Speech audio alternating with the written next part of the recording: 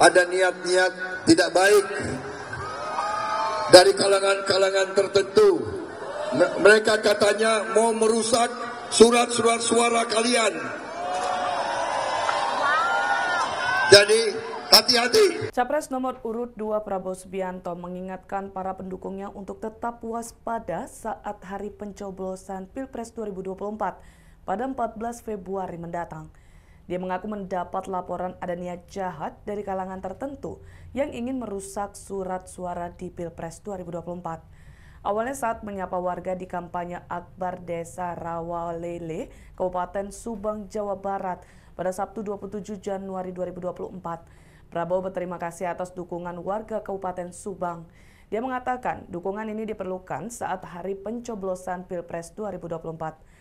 Prabowo meminta para pendukungnya untuk mengecek secara teliti ada atau tidak kerusakan pada surat suara yang diterima di tempat pemungutan suara atau TPS. Surat suara rusak diketahui tidak dihitung saat penghitungan suara. Di sisi lain, Ketua Umum Partai Gerindra itu menyebut pihak-pihak yang merusak surat suara berarti mengkhianati rakyat.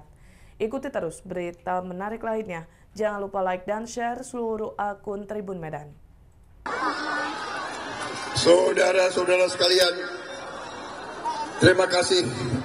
Sekali lagi saya tidak bisa bicara apa-apa, hanya terima kasih dan duk dukunganmu saya perlukan tanggal 14 Februari yang akan datang. Tapi tapi ada tapinya. Kita harus waspada.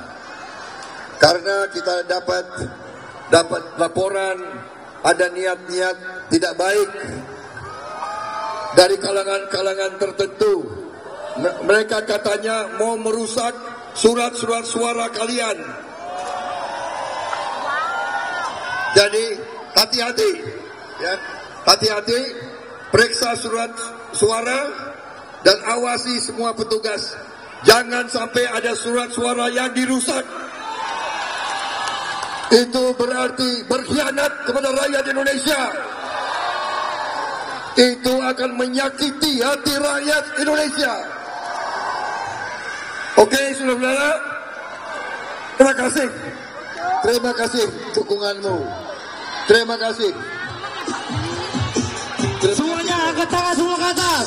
Download Tribun X sekarang. Menghadirkan lokal menjadi Indonesia.